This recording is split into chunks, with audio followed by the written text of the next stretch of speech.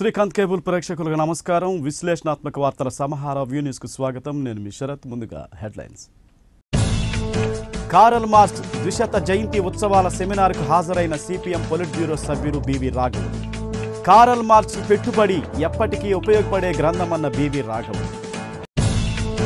కడప ఉక్కు ఫ్యాక్టరీపై సిపిఎం వ్యాఖ్యలు హాస్యాస్పదంగా ఉన్నాయని ఎద్దేవా చేసిన బివి రాఘవ్.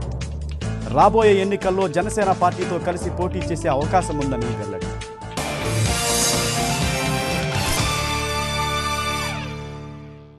ఇక వివరాల్లోకి వెళితే ప్రజలు ఎదుర్కొంటున్న సమస్యలను తక్షణం పరిష్కరించాలని జిల్లా కలెక్టర్ వి. వినయ్ చంద్ అధికారులను ఆదేశించారు. సిపిఓ సమావేశ మందిరంలో వినయ్ చంద్ మీకోసం కార్యక్రమాన్ని నిర్వహించి ప్రజల వద్ద నుండి అర్జీలు స్వీకరించారు. ప్రజలను కార్యాలయాల చుట్టూ తిప్పుకోవద్దని అధికారులకు ఈ సందర్భంగా సూచించారు. జిల్లా జాయింట్ కలెక్టర్ నాగలక్ష్మి రెండవ joint collector Markandeyulu RTO Kamma Srinivasarao తదితరులు పాల్గొన్నారు. తమ సమస్యల పరిష్కారానికి ప్రజలు పెద్ద సంఖ్యలో మీకోసం కార్యాలయానికి విచ్చేశారు.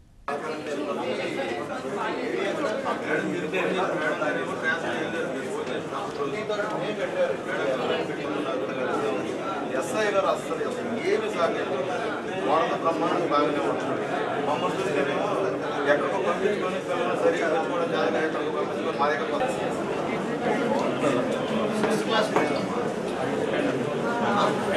ఇది కాదు అట్లా ఏం చదువుతున్నాడు అసలు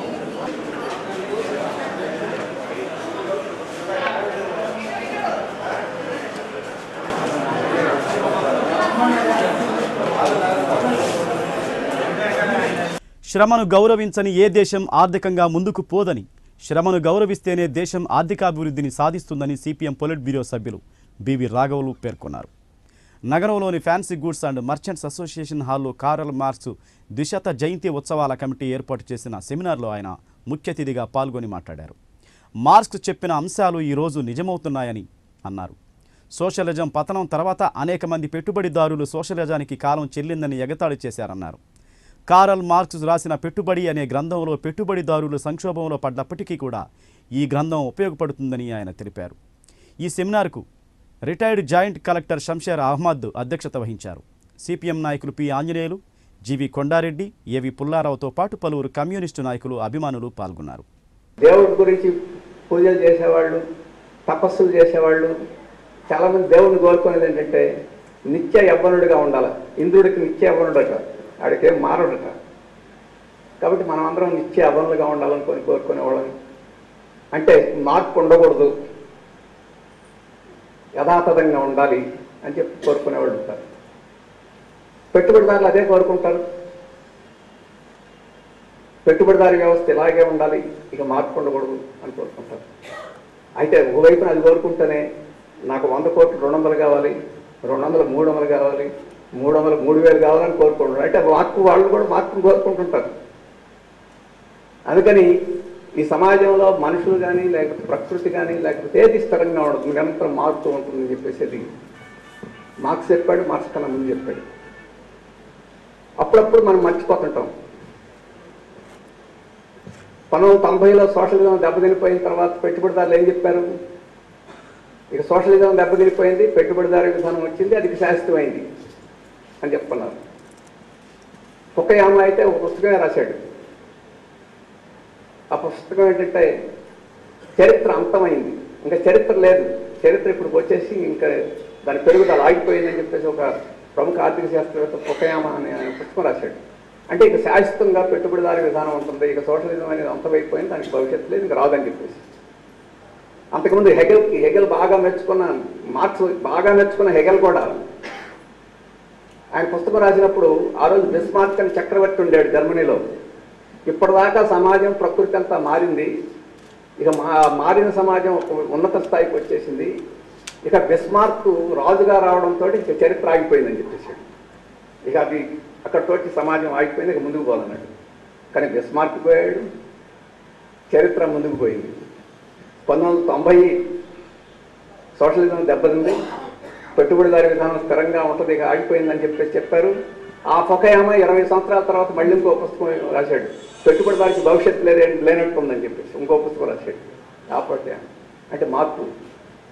అందుకని మార్క్స్ చెప్పింది ఏంటంటే మనకి ఇష్టపడినా ఇష్టపడకపోయినా ప్రకృతి సమాజం నిరంతరం మారుతూనే ఉంటుంది ముందుకు పోతూనే ఉంటుంది. ఈరోజు అయ్యో అనిపించింది అది ఉంటుంది ఈరోజు ఆహా అనిపించింది అది కూడా స్థిరంగా ఉంటుందనేమి లేదు. ఈరోజు సోషలిజం దెబ్బతింటి కాబట్టి మళ్ళీ సోషలిజం రాదని చెప్పేసి ఎవరన్నా అనుకుంటే అయితే మన బాధ అంతా ఏంటంటే నా హయాంలో వస్తే బాగుంటుంది నేను బతుకున్నప్పుడు వస్తే బాగుంటుంది అనుకుంటుంటాం. అది జరగకపోవచ్చు. ముఖ్యమంత్రి చంద్రబాబు నాయుడు కడప స్టీల్ ప్లాంటుపై అనేకమైన ఆశ్చర్యాలు కలిగించే వ్యాఖ్యానాలు చేయడం హాస్యాస్పదంగా ఉందని సిపిఎం పొలిట్ బ్యూరో సభ్యులు బివి రాఘవులు అన్నారు. సమకాలీన ప్రపంచ మార్క్సిజం ఆవశ్యకత అనే అంశంపై ఒంగోలులో జరిగిన సెమినార్కు పాల్గొనేందుకు వచ్చిన ఆయన ప్రస్తుత రాజకీయ పరిస్థితులపై మీడియాతో ముచ్చటించారు.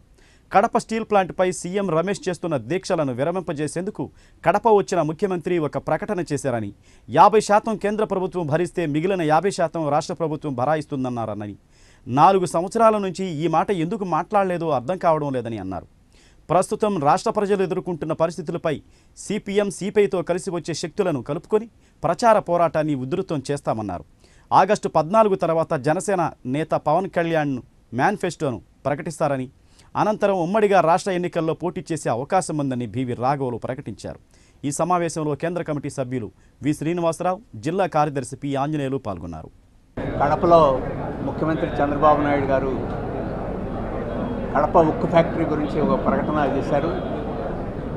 కేంద్ర ప్రభుత్వం ముందు మూడు ఆప్షన్స్ ఆయన పెట్టారు. ఒకటి కేంద్ర ప్రభుత్వమే స్టీల్ ప్లాంట్ నిర్మాణం చేయాలి. రెండో ఆప్షను యాభై శాతం తాము పెట్టుకుంటే మిగతా కేంద్ర ప్రభుత్వం పెట్టుకుంటే ఉక్కు ఫ్యాక్టరీ నిర్మాణం చేయాలి. మూడోది మొత్తం తామే పెట్టుకుంటాం కేంద్ర ప్రభుత్వం పర్మిషన్ ఇవ్వాలి. ఈ మూడు ఆప్షన్స్ కేంద్ర ప్రభుత్వం ముందు పెట్టి స్టీల్ ప్లాంట్ వచ్చేదాకా పోరాడతామని చెప్పేసి ఆయన ప్రకటన చేశాడు ఆ ప్రకటన చూస్తే ఆ ప్రకటనలో ఏముందో మాకే గందరగోళంగా ఉండే పరిస్థితి. రాష్ట్ర ప్రభుత్వమే మొత్తం అంతా మొత్తం ఖర్చంతా పెట్టుకుని పెట్టుకొని స్టీల్ ప్లాంట్ పెట్టే పని అయితే ఈ ఆందోళనలు ఎందుకు ఈ నిరాహార దీక్షలు ఎందుకు సీఎం రమేష్ గారిని అంత బాధ పెట్టడం ఎందుకు ఆయన అంత బరువు తగ్గడం ఎందుకు ఇవన్నీ ఎందుకని చెప్పేసి మాకు ఆశ్చర్యం కలుగుతుంది.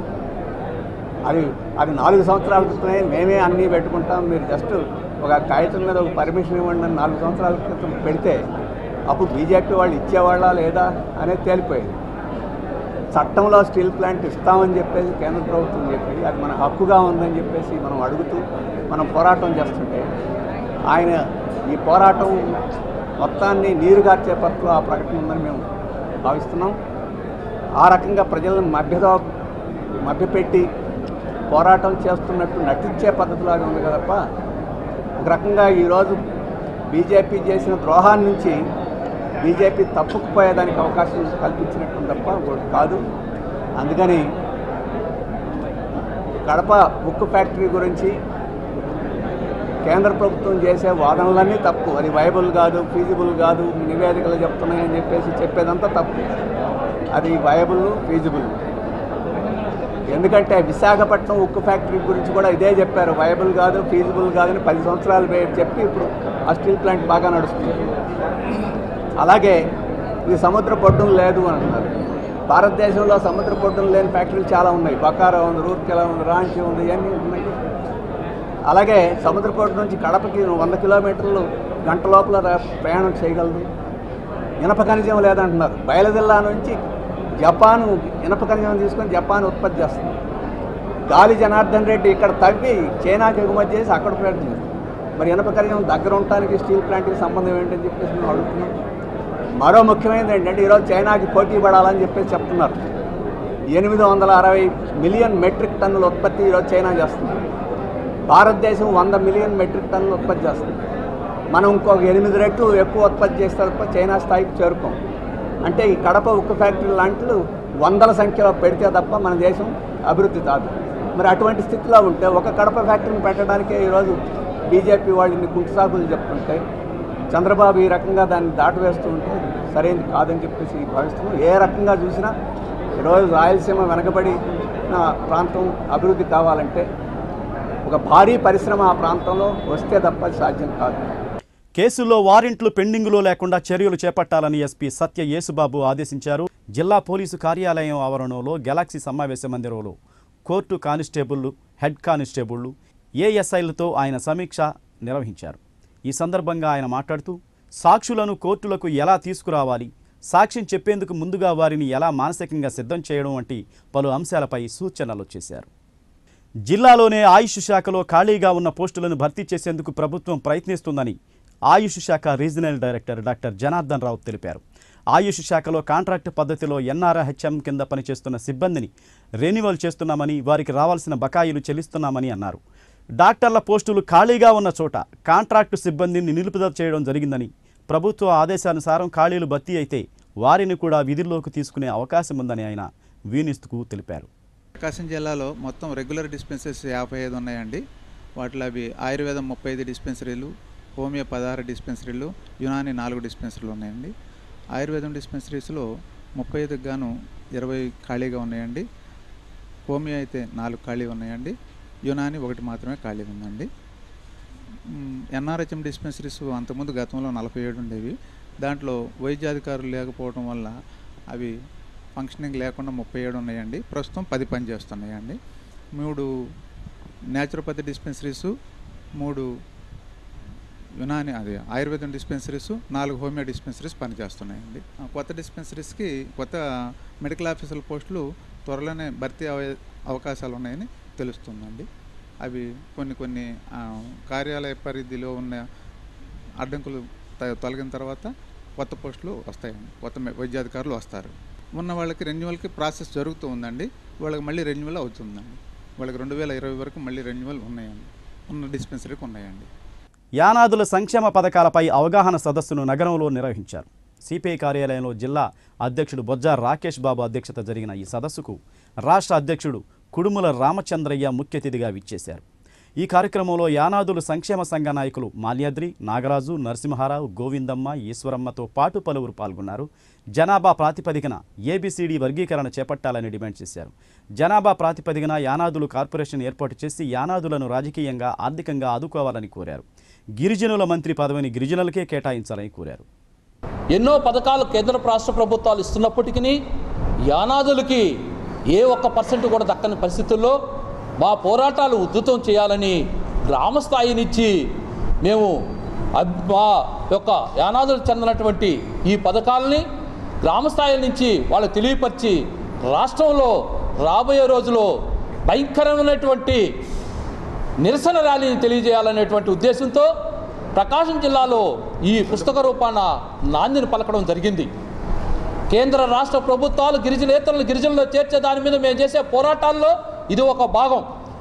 రెక్కాడితే కానీ డొక్కాలన్నటువంటి యానాదులకి కనీస సదుపాయాలు కల్పించలేనటువంటి ఈ ప్రభుత్వం వేరే కులస్థలను తీసుకొచ్చి గిరిజనుల్లో చేర్చాలనేటువంటి ప్రతిపాదనని విరమించుకోవాలని ఢిల్లీలో జంతర్మంతర దగ్గర చేసినటువంటి ధర్నాకి కేంద్ర ప్రభుత్వం తల మన రాష్ట్రానికి ఆ నివేదికని తిప్పి పంపడం జరిగింది.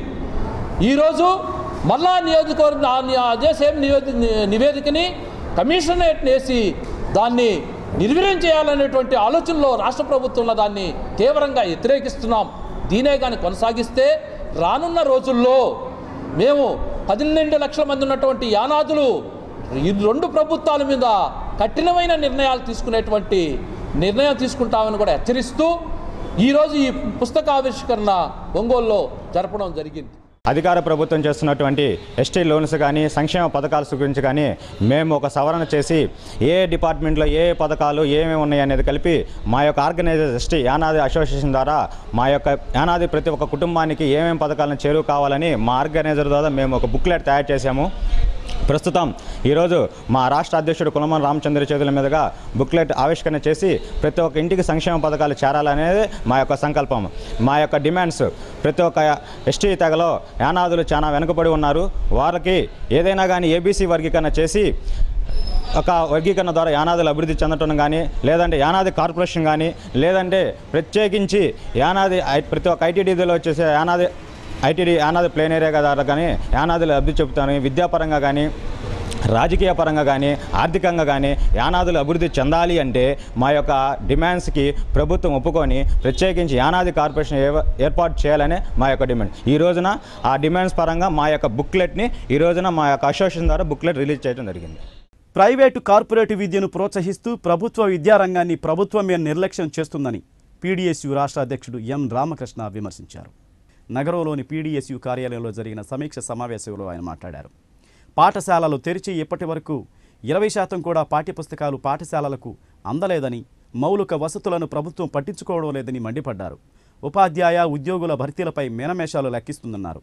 ఈ సమావేశంలో శ్యామ్ ఎం ధనరాజ్ విక్రమ్ శిశీంద్రి పాల్గొన్నారు. కానీ ప్రభుత్వ యంత్రాంగం అధికారులంతా కూడా దాని మీద డబ్బులు పెట్టాలి కాబట్టి ఆ దాని పట్ల నిర్లక్ష్యంగా వ్యవహరిస్తున్నారు.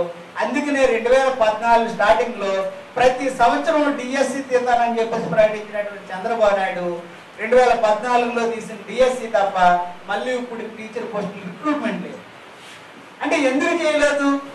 అని అంటే ఇచ్చినటువంటి వాగ్దానాలన్నీ కూడా పక్కన పెట్టారు కేంద్ర ప్రభుత్వం ఈ రాష్ట్రానికి ప్రత్యేక హోదా ఇచ్చి రాష్ట్రంలో తొమ్మిది యూనివర్సిటీలను ఏర్పాటు చేసి రాష్ట్రాన్ని నారచొప్పుగా తయారు చేస్తామని కేంద్ర ప్రభుత్వం చెప్తే అదే మాటల్ని గతంలో గవర్నమెంట్ ముఖ్యమంత్రి చంద్రబాబు నాయుడు గారు ప్రతి సంవత్సరం ఈ ఆంధ్ర రాష్ట్రాన్ని డిఎస్సి ప్రకటించి విద్యారంగానికి అధిక నిధులు కేటాయించి ప్రత్యేకించి ప్రకాశం జిల్లాలో రెండు యూనివర్సిటీలని ఏర్పాటు చేసి ఒకటి సాధారణ యూనివర్సిటీ రెండు మైనింగ్ యూనివర్సిటీ ఈ రెండు యూనివర్సిటీలు ఏర్పాటు చేసి ప్రకాశం జిల్లాను కూడా విద్యాపరంగా అభివృద్ధి చేస్తామని గతంలో ఇచ్చిన మాటలు ఈనాటి మోట్లై కనిపిస్తున్న పరిస్థితి మనం చూస్తున్నాం అయితే ఈ జిల్లా ప్రధానంగా వెనుకబడి ఉంది.